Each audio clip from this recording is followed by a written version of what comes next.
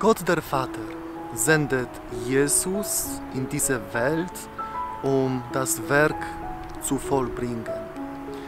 Jesus, der Gesandte, schickt auch einen Menschen zum Teich Shiloach, um das Werk zu vollbringen. Hören wir zuerst ein Fragment des Evangeliums, welches wir heute am Sonntag in der Kirche hören. Aus dem heiligen Evangelium nach Johannes. Unterwegs sah Jesus einen Mann, der seit seiner Geburt blind war. Da fragten ihn seine Jünger, Rabbi, wer hat gesündigt?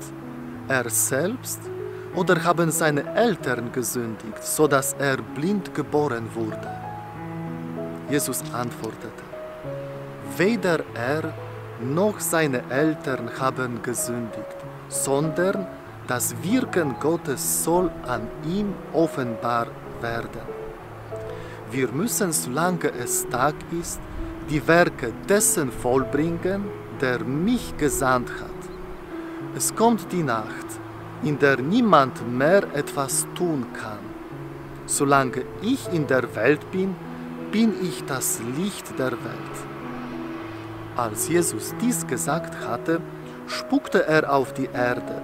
Dann machte er mit dem Speichel einen Teig, strich ihn dem Blinden auf die Augen und sagte zu ihm, Geh und wasch dich in dem Teich Shiloach. Shiloach heißt übersetzt der Gesandte. Der Mann ging fort und wusch sich. Und als er zurückkam, konnte er sehen. Die Nachbarn und andere, die ihn früher als Bettler gesehen hatten, sagten, ist das nicht der Mann, der da saß und bettelte?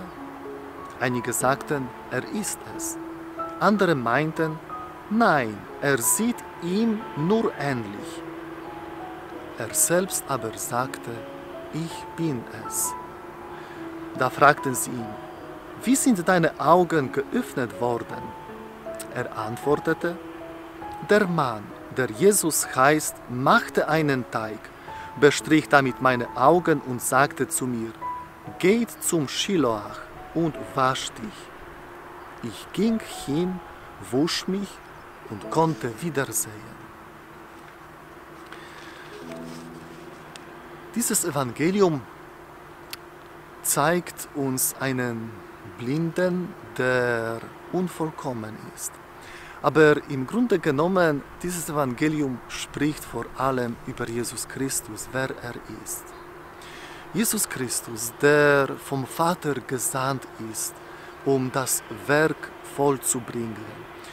Er macht hier, oder Jesus wiederholt hier das Schöpfungsakt. Das, was wir am Ende der Bibel lesen, wie Gott aus dem Boden einen Menschen gemacht hat und alle Wesen, alle, alle Lebewesen.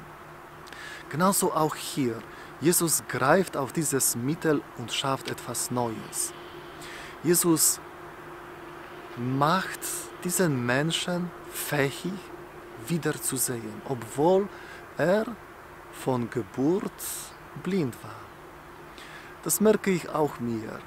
Diese schöpferische Kraft Gottes, wo er etwas Neues in mir schafft. Er befähigt mich mit neuen Talenten, Begabungen, Sachen zu machen, die neu sind.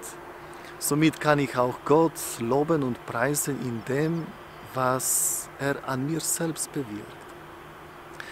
Der blinde Mensch, der jetzt sehen kann, das Erste, was er sieht, ist sein Abbild in dem Teich Shiloach. Shiloach, wie der Johannes äh, uns schreibt, bedeutet Gesandte. Und der Gesandte ist Jesus selbst. Das bedeutet, der Mensch sieht sein Abbild in Jesus Christus. Das kann für uns selbst eine sehr frohe Botschaft sein. Wenn wir an Jesus schauen, wir erkennen, wer sind wir. Nicht, was die anderen über uns sagen, sondern das hörst du von Gott selbst, wer du bist.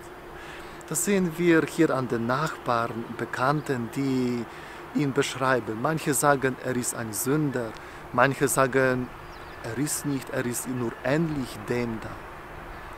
Der Blinde, der jetzt sehen kann, er weiß jetzt, wer er ist, weil er Jesus gesehen hat. Äh, er war mutig, auf sein Wort zu hören und befolgt dieses Wort. Das ist die Einladung, die Gott auch an uns gibt. Wenn wir auf sein Wort hören, wenn wir es befolgen, wenn wir mittun, wir werden Gesandte, genauso wie Jesus. Und wir werden sehen, wer bin ich, wenn ich auf Jesus schaue. Somit wünsche ich dir erstens Mut, auf Jesus Wort zu hören und es zu befolgen. Und das Zweite, wenn du das tust, du wirst sehen, wer du bist. Und du bist Abbild Gottes. Du bekommst diese Würde, die Gott dir gegeben hat, zurück.